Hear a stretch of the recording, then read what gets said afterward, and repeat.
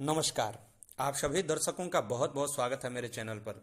मैं आचार्य पंकज शास्त्री आपका अपने चैनल पर हार्दिक अभिनंदन करता हूँ। उपस्थित हूँ ज्योतिष सम्मत बहुत ही महत्वपूर्ण जानकारी को लेकर के और जानकारी का जो चर्चा का आज का विषय हमारा वह है वाहन क्रय विक्रय का शुभ मुहूर्त को लेकर के।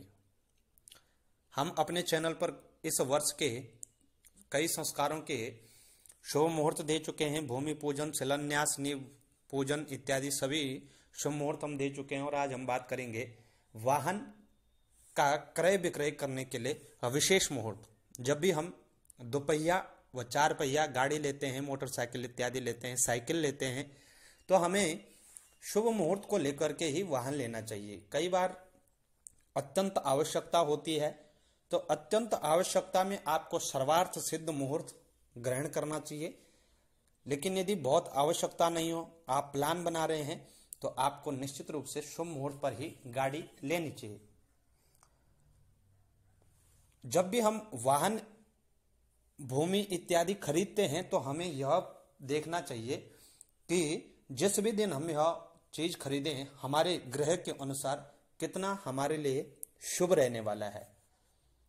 कई जातकों को होता है कि जो वार उनके लिए अत्यंत शुभ नहीं होता है, उसी वार को चीज़ें खरीद लेते हैं, नुकसान होता है और फिर कहते हैं कि हमें ऐसी चीज़ों पर विश्वास ही नहीं है। लेकिन वास्तविक रूप यह है कि हमें तिथि, पक्ष, वार और अपना विशेष अंक को देखकर ही यह सब चीज़ें क्रय विक्रय करनी चाहिए। तो ऐसे ही गाड़ी आभूषण आदि, बहुमूल्य वस्तुएँ खरीदने के लिए विशेष मुहूर्त होते हैं। उन मुहूर्तों को कहते हैं द्विपुष्कर योग और त्रिपुष्कर योग।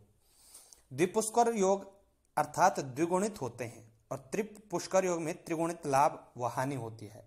यदि इन योगों योगों में किसी भी प्रकार का शुभ गाड़ी हम खरीदते हैं, आभूषण खरीदते हैं तो उसकी उत्तरोत्तर वृद्धि होती है।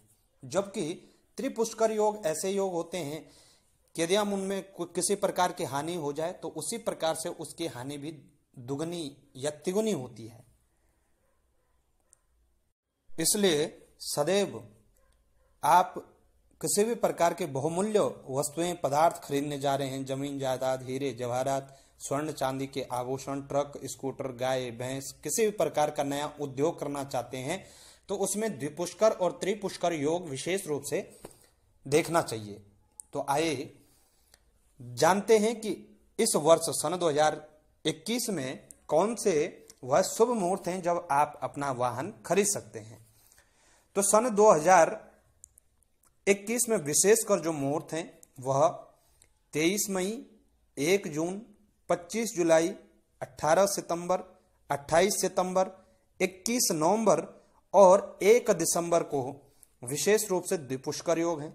इनमें यदि आप कोई सामान खरीदते हैं जायदाद इत्यादि खरीदते हैं, गाड़ी, वाहन इत्यादि खरीदते हैं तो यह आपको नित्य उत्तरोत्तर वृद्धि का कारक रहता है।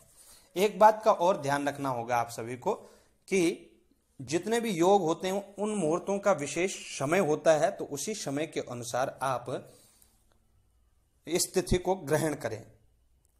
अर्थात उस, उतने ही समय तक आपको खरीदना चाहिए।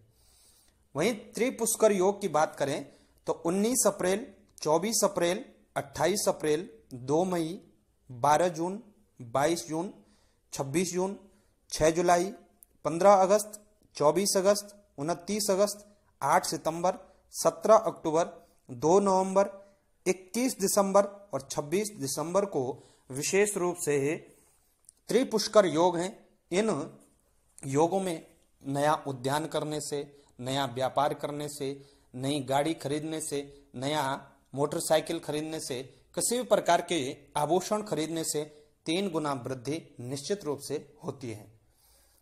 अयोगो सुयोगो पिचेत स्यातत दानिमयोगो निहत्येश सिद्धम तनोति। यह सूत्र ज्योतिष का है। निश्चित रूप से यदि आप मुहूर्तों के अनुसार कार्य करते हैं तो आपके लिए बहुत ही शुभ होता है। यदि आप फ्यूचर के लिए प्लानिंग कर रहे हैं कि हमें गाड़ी लेनी है या हमें मोटरसाइकिल लेनी है तो निश्चित रूप से यदि आप इन तिथियों को ग्रहण करेंगे तो यह अत्यंत महत्वपूर्ण तिथियाँ हो जाती हैं। इन तिथियों में निश्चित रूप से आपको अत्यधिक लाभ मिल सकता है।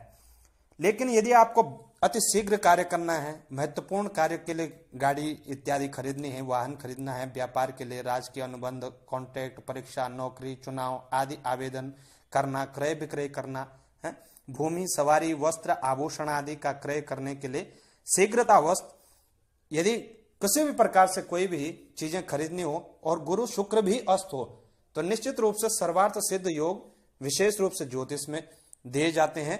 सर्वार्थ सिद्ध योग में आप यह सब खरीद सकते हैं यदि आपको बहुत ज़्यादा जल्दी है। लेकिन यदि आप प्लानिंग के साथ खरीदते हैं तो आपको ये दो योग, द्विपुष्कर और त्रिपुष्कर योग बताए गए।